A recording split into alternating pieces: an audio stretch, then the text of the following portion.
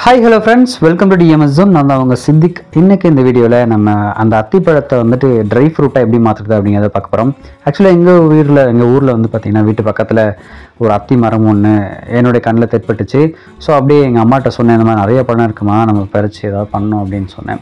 So உடனே வந்து try ஃப்ரூட்டாக மாற்றிடலாம் அப்படின்னு சொல்லி சொன்னாங்க. ஸோ அதன் அடிப்படையில் நம்ம என்ன பண்ணோம் அப்படின்னா ஒரு பேக் ஒன்று எடுத்துகிட்டு வந்துட்டோம் ஏற்கூட ஸோ அதில் இருக்கிற அந்த பழங்களை பார்க்கறதுக்கு ரொம்ப ஆர்வமாக ஆசையாக இருந்துச்சு. ஸோ சூப்பர் கலரில் இருந்துச்சு.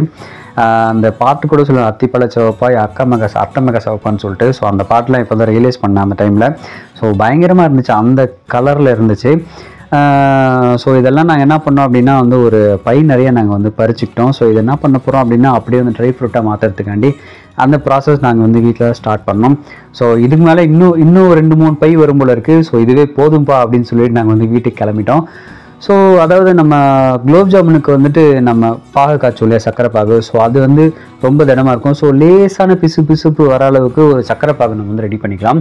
ஸோ ரெடி பண்ணிக்கிட்டு அதில் வந்து நம்ம பறிச்சுட்டு வந்து இந்த அத்திப்பழத்தை இந்த மாதிரி நம்ம போட்டு ஒரு த்ரீ டு ஃபோர் மினிட்ஸ் போதும். அந்த அளவுக்கு இருந்தால் போதும். ஸோ அந்த அளவுக்கு நம்ம என்ன பண்ண போகிறோம் அப்படின்னா வந்துட்டு அப்படியே அதில் வேக வைக்க போகிறோம் இதுக்கு முன்னாடி என்ன பண்ணியிருந்தேன் அப்படின்னா நான் வந்து உப்பு தண்ணியில் வந்து அதை வந்து கழுவி வச்சிருந்தேன். ஃபஸ்ட்டு அதில் இருக்க பூச்சிலாம் வெளியே போயிட்டோம் அப்படின்றதுக்காண்டி உப்பு தண்ணியில் கழுவி வச்சிருந்தது.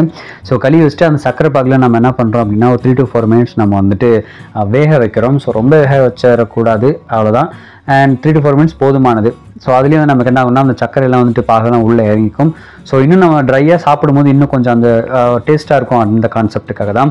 ஸோ இது வந்து நம்ம வந்து ஒரு த்ரீ டேஸ் தான் நல்லா வெயில் அடிச்சதுன்னா ஒரு டூ டேஸ் போதும். ஒரு த்ரீ டேஸ் வந்துட்டு நம்ம நல்லாவே வந்து காய வைக்க போகிறோம் ஸோ இது வந்து ரெண்டு நாளைக்கு முன்னாடி நாங்கள் வந்து காய வச்சது. ஸோ இது பார்த்திங்கன்னா வந்துட்டு நமக்கு நல்லாவே வந்துட்டு இதாக இருக்குது நல்லா ஓரளவுக்கு சாஃப்டாக வந்திருக்கு. ஸோ ட்ரை ஆயிடுச்சு ஆல்மோஸ்ட் நமக்கு. ஸோ இந்த இந்த ஸ்டேஜில் இருக்கும்போது என்ன பண்ண போகிறோம் அப்படின்னா நம்ம வந்து அப்படியே வந்து எடுத்து அதை வந்து நம்ம ஸ்டோரேஜ் பண்ணி வச்சுக்க போகிறோம் ஸ்டோரேஜ் பண்ணி வச்சுக்கிறதுக்கு நிறைய விதமான மெத்தட்ஸ் இருக்குது ஸோ நம்ம அப்படியே வந்துட்டு நசுக்கி ஸ்டோரேஜ் பண்ணி வச்சுக்கலாம் ஃப்ரிட்ஜில் இல்லைன்னா தேன் இருந்துச்சுன்னா சுத்தமான தேன் அதில் நம்ம வந்து போட்டு வச்சுக்கலாம்.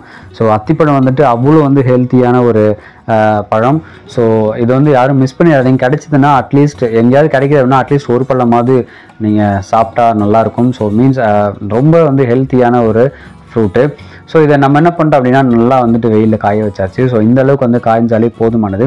அதில் இருக்க சக்கரை பாகு நல்லா வந்துட்டு அப்படியே இறுகி உட்காந்துருக்கும் ஸோ நம்ம வந்து சப்பாத்தி நசுக்கிற ஐ மீன் பூரி நசுக்கிற கட்டை இருக்கும் இல்லையா? ஸோ இரும்பில் வந்து பழைய மாடல். ஸோ இதெல்லாம் இப்போ வரதில்லை. இப்போ இதில் என்ன பண்ணுறோம் அப்படின்னா நம்ம அந்த அத்திப்பழத்தை வச்சு இந்த மாதிரி நசுக்கி எடுத்துக்கிறோம். ஸோ இந்த மாதிரி நசுக்கி எடுக்கும்போது நமக்கு வந்து ஸ்டோரேஜ் பண்ணி வைக்கிறதுக்கு ஈஸியாக இருக்கும். ஸோ அப்படியே நீங்கள் வந்துட்டு முழுசாக வச்சா கூட ஒன்றும் பிரச்சனை இல்லை. ஒரு கவரில் போட்டு கூட நீங்கள் வந்து ஸ்டோரேஜ் பண்ணி வச்சுக்கலாம். ஸோ இந்த மாதிரி நம்ம பேக் பேக்கரியில் மீன்ஸ் அது என்னது? சூப்பர் மார்க்கெட்லாம் பார்த்தோன்னா இந்த மாதிரி நசுக்கி நமக்கு வந்து ஸ்டிக்கில் போட்டு வச்சுருப்பாங்க. ஸோ அந்த மாதிரி கூட நம்ம வந்து போட்டு வச்சுக்கலாம்.